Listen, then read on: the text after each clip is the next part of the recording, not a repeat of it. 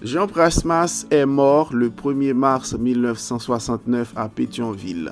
Il était médecin, ethnographe, diplomate, homme d'État, pédagogue, philosophe, essayiste et écrivain. Il est né le 15 octobre 1876 à la Grande Rivière du Nord et il est mort le 1er mars 1969 à Pétionville.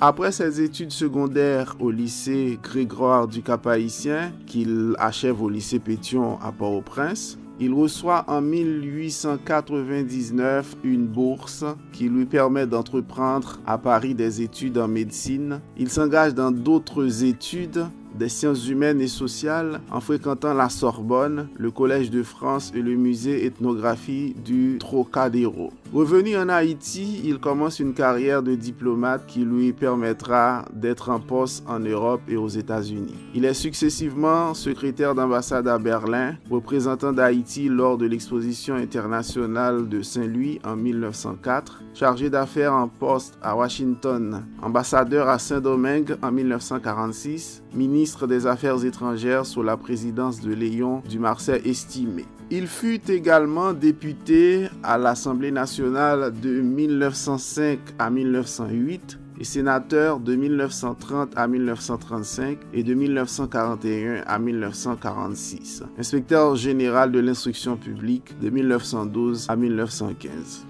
Écrivain prolifique, il affirme dans son ouvrage Ainsi par la longue paru en 1928 que les Haïtiens ne sont pas des François Duvalier, mais des hommes nés en des conditions historiques déterminées et ayant du double héritage français et africain. Dans les années 1930, il se lie avec d'autres intellectuels de la diaspora d'Afrique, notamment à travers la revue du Monde Noir et le salon littéraire de Paulette Nardal. Il participe activement au mouvement de la négritude avec d'autres personnalités intellectuelles telles qu'Aimé Césaire et Léopold Sédar Senghor. Mouvement littéraire qui a contribué largement au nationalisme culturel d'Afrique. En 1941, il fonde l'Institut d'ethnologie de Port-au-Prince. Il y occupe les chaires de sociologue et d'aphrologie jusqu'en 1947.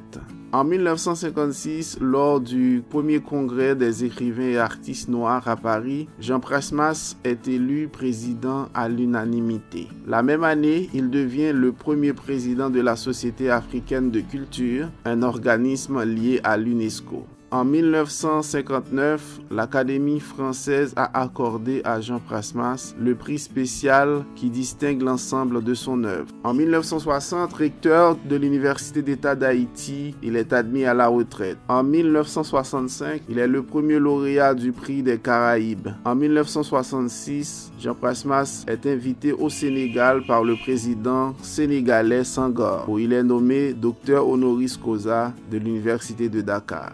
Prasmas meurt le 1er mars 1969 à Pétionville.